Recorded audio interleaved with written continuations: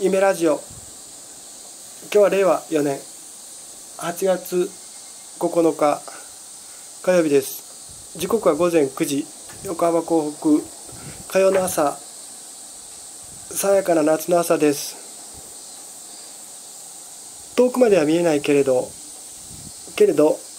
港北の街が白く浮き立って見える。朝の時刻はいつもそうです。特に夏はそうですね。その代わり港の方は陰った。そんな風景。さて今回は「桜を去っていった人たち」シリーズ。パート9松田学取り上げます。松田学さんですね。桜を去っていった人たち。まあ桜に恩を被ってそれをあだで返すみたいなしょうもないのもぞろぞろいるんですが。まあ松田学さん最後までさくらに礼儀尽くしたかな。けれどもさくらに戻ってらっしゃることはない。特にさくらが神道国森を立ち上げそして松田さんは参政党のボードメンバー。しかも選挙後に代表になられたわけでまあもうさくらの番組にお出になることはない。さくらを去っていった人たちというカテゴリーでお話ししても良いお方でしょう。何度も言いますがあの恩知らずのなんか最低なやつらがいましたね。でこのような方とは一緒にしてはいけません。しかも松田学さんとチャンネルさくらといえば松田さんがコロナウイルスについて発言をしその発言によってこのチャンネルさくらの放送が止まってしまった2週間これは記憶に新しいところですね。まあ、水島さんはそのことについて、まあ、松田さんを責めたことは一言もないというふうにお話しなさっています多分水島さんはそういう時その松田さんのせいで2週間番組が放送できなくなったみたいなことは言わない。松田さんは水島さんそしてさくらにあの時大きな借りができたわけですね。そして松田学さんといえばさくらであの経済コーナーをお持ちになってなんか毎週1回配信されていましたね。そして今回の参政党としてご自分が前面に出てそして選挙が始まる始まらないの頃でもその放送をお続けになっていたあの松田さんの「さくらは出るぞ」と「さくらは出続けるぞ」というあの姿勢にはっきり言わないけれど「さくらにはお世話になっております」最後までやらせていただきたいですというその姿勢が見え隠れした。私はそう思っております。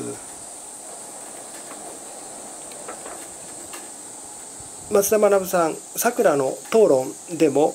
経済討論でよくお出になりそこでは時に日本の財政を語り時にはブロックチェーンを語りその語り口は明快でしかも非常に穏やかなお話をされる。そしてなんかクラシック音楽にも造形がある。娘さんがオーストリーにあの留学されている音楽留学されているとかそんな話も確かされていましたね。高橋洋一さんの後輩として財務官僚東大経済学部ですね。財務省というのは東大法学部が多いんですけどまあ経済学部もちらほら。けれどそんな財務省にも見切りつけ今から12年ぐらい前2010年頃には大蔵省を退官。で松田さんは衆議院議員おやりになってました。日本維新の会だったと思います。あの港北のね横浜のこの近くのっていうかすぐそこのあの日吉って駅あるんですけど日吉の駅で松田さんが演説なさっていてでそれ聞いてなんとなく日吉にはよく行ってますからあこの人いいこと言ってんなと思ってその時は松田学さんに投票した記憶が私はあります。その後次世代の党というふうに所属の党が変わってその時にも投票したんですけどそれで落選されましたね。確か。でその後なんかあの松田さんはこの港北で選挙でお出になることはなくやがていつも生き生き生き愛子さんが出るようになり始めたから生きさんに投票しておりました私は。さてそんな松田学さん。今回の選挙で新党国盛 VS 参政党この対談は文化人類なんて名前でしたっけ？文化人類？え文化放送局？えっ、ー、となんかそういう名前のところでやりましたね。文化人放送局か。はい。えっ、ー、とでその時はまああの名古屋期に終わったんですね。新党国盛から本間安藤参政党から神谷松田でしたね。その時はまあ普通に終わったんですがその後本間さんとあの司会の山岡さんが喧嘩し始めてで水島さんも参政党は反日だと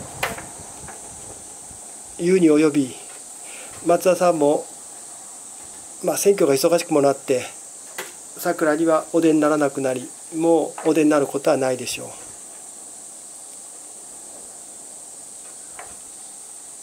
放送の中でも話したように松田さんは非常に紳士でそしてエリート意識を感じさせずそしてご自分が東大財務省という経歴をお持ちながらもその愚かさをよく知ってらっしゃる。その東大だか財務省だかの愚かさをよく知ってらっしゃる。つまり一種相対化できるお方と私はお見受けしております。ですからあの桜の討論でもやっぱり高橋陽一そして松田学というお二人が揃うような時には私はあのしっかり聞いていたものですね。時に先輩の高橋が松田に対して「あんたそんなこと言ってるとあの財務省から睨まれるよ」みたいなそんな面白い忠告まで番組の中でやったりしていましたね。もちろん高橋も松田ももう財務省とは絵をすっぱり切っていることでしょう。松田さんこの松田さんもある程度さくらで知名度を上げたお方というふうに言っていいと思う。ですから今はもう参政党の押しも押されもせぬ代表ではありますがやっぱり心の中ではさくらに感謝そして水島さんに感謝なさってるだろうしさっきの2週間さくらの放送ができなくなっただけでなく松田さんから水島さんへの敬意というかそれはもう最後まで番組ご自分の番組をお続けになろうとしたっていうそれでも明らかかなと私は見ています。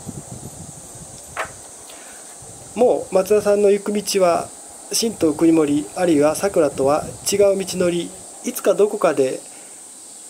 協力ということもあるかもしれないけど当分はないでしょう。さくらで松田さんを見ることもない。けれどそのさくらでの思いでを胸に松田さんにはこれから参政党の党首として頑張っていただきたいですね。